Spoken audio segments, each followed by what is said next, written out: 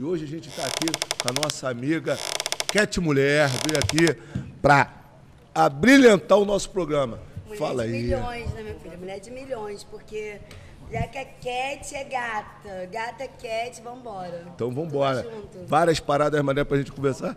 E hoje, o meu amigo Bola, a Preta liberou ele, ele tá de volta, que tá de castigo, né? Ficar olhando mulher na Não, comunidade. caô. Essa Mentira, parada. Voltou. é. Nada. Essa Gostei, parada. vamos Pô, lá, vamos vamos lá, brindar, meu Vamos querido. Brinde é mulher de É favela. Eu tô chegando, eu tô na área. E favela é comigo mesmo, né, meu povo? Porque comigo não tem, não tem nada. Tipo, vim da favela, né? Já fui empresária, voltei pra favela de novo, na favela me abraçou. Sou muito feliz, mas vou viralizar e vou sair da favela de novo. E é isso que a gente quer saber de você. Conta a história da favela aí que tu, tu lembra, assim, que foi maneira pra caramba, que marcou a tua vida, seja do lado bom, do lado ruim. Conta pra gente aí. Falando de favela, eu fui nascida e criada dentro da favela, porém tive.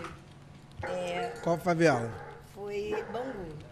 Bangu. favela lá em Bangu. Ah, Bangu tem um montão de favela. Não quer falar o nome Tem, da a gente favela? é de lá, a gente é de lá. Cadinho, cadinho. Não, mas que cadinho. de repente eu já pintei por lá já, pô. Não tem qual, De qual é a favela?